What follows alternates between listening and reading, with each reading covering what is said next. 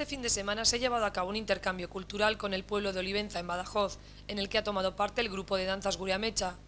Los actos de este intercambio comenzaron a las once y media del sábado con el recibimiento en el ayuntamiento, donde la coral Alboca actuó para los recién llegados y el grupo Guriamecha bailó el Aurescu de honor. Tras el recibimiento, el salón de plenos del ayuntamiento fue escenario de un acto protocolario de entrega de detalles y firma en el libro de honor e izada de pendones de Hermo y Olivenza en los balcones del ayuntamiento.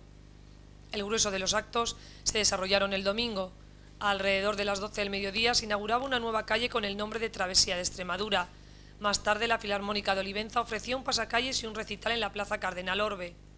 Para el domingo por la tarde se reservó la exhibición de danzas que, además de contar con el grupo La Encina de Olivenza y Guriamecha, contó también con el grupo griego Calicratia, de gira en estos días por Euskadi. Los bailes comenzaron a las 7 de la tarde. Durante este acto se pudieron degustar productos típicos extremeños como chorizo, salchichón, queso de cabra, vino y gazpacho.